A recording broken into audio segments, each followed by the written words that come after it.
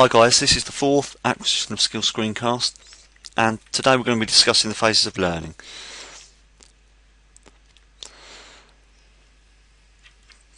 Two individuals called Fitts and Posner identified that we move through three different stages of learning when we sort of learn a skill, if you like, and it always runs in order.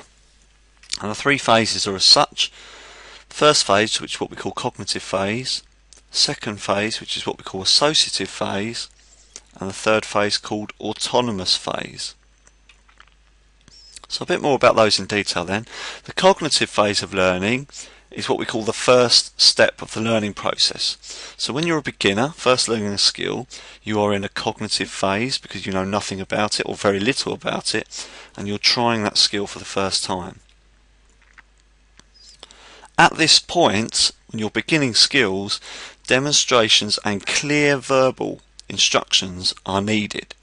So the learner, whoever's learning the skill, needs a, a, a vivid image as to what they're learning about. Quite obviously, the more complex the skill, the longer it will take to learn. And so for that element of, of things, if you're teaching a complex skill, teachers need to, to break the skill into sections and gives small chunks of information at a time. So if you think about whole part, whole learning, it links to that a little bit, or part learning, where you're taking one part and isolating it, trying to improve it, and the, the cognitive learner can take that information on board better because it's only a small chunk of information rather than showing that entire skill and then worried about doing the whole skill. Okay, so often in this phase we link this to children, but there are plenty of skills that adult learners could also be in the cognitive phase of, so don't just think it's for kids. The second stage of learning, so once we've got past this beginner stage of learning a skill, we move into the associative phase, and this is what we call the second phase of learning, and this one often is the longest phase of learning, generally significantly longer than the cognitive phase. At this point, you've gone from being a beginner, maybe learning a basketball dribble or a netball shot, and being a bit rough around the edges. You might be sort of 2, 3 out of 10 if you're shooting into a basket. But now we start to eliminate lots of mistakes and we start to refine that skill a bit more. So you might start to see a, a, a pretty good improvement within those um, beginner's skills what we also call motor programs, where your brain starts to develop an idea of what the skill would look like, they become more developed in this stage. your body and muscles get used to what we call motor programs, as well as your brain developing those.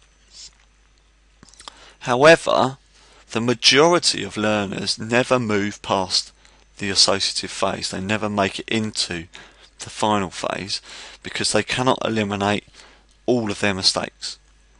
So, you know, you often see adult learners as well as sort of high school, secondary school learners will still be in an associative phase and some may even carry carry that on until later life. They might never ever leave that stage. Okay, so they still have a good level of performance, but there is still a lot of errors in their performance, and they can't seem to eliminate those errors. The final stage is what we call autonomous phase. And this skill when you learn the skills now it becomes automatic. You're not thinking about it. It's an unconscious thought. So basically it's in your mind somewhere but you don't really have to think about producing a tennis serve. You're just focusing on what spin you want to do or where you want to place the ball or how hard you want to hit the ball um, if you're taking a free kick, you're you're not really thinking about the run up as such or how to kick the ball. You think about what spin do I need to, to jot it past the wall and into the top corner? Do I need to hit it low? Where is the goalkeeper, etc. So you think about the finer aspects of the skill rather than the majority of the skill itself. Good examples of this would be obviously Roger Federer at elite level. His skills have become automatic. He's not really thinking about his forehand. He's thinking about where to place the forehand, what spin. Tom Daley, for example, as he dives off the diving board, he's not thinking about how the hell do I dive off this diving board. He's thinking about how fast do I need to get into that tuck shape, when do I need to get into the pike shape. He's not actually thinking about those individual skills themselves. So you're fine tuning something.